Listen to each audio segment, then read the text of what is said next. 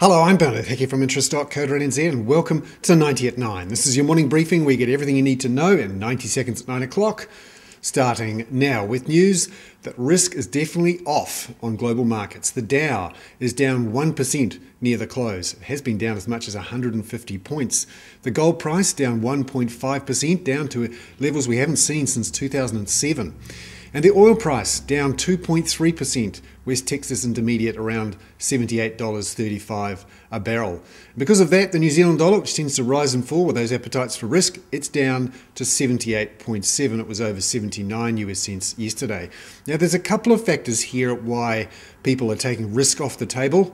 The European crisis, no surprise there. Got a summit going on at the moment, and there's no clear solution in tune for that no one's suggesting a deal is likely to come out of that would, that would actually make a difference. And that's why Spanish bond yields rose again overnight to a high of 7%. They're closing slightly below that. Also, news that European confidence has slumped to 2010 lows, and even German unemployment now up more than forecast.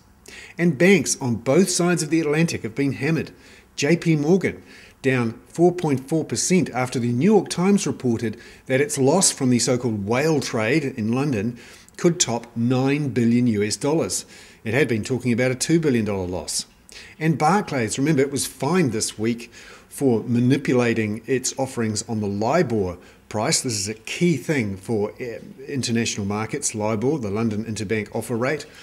Its shares fell 14.4%. Remember, it's paying almost a half a billion dollars worth of fines it's after the UK Chancellor said there needed to be a criminal probe into what Barclays and other UK and US banks are up to.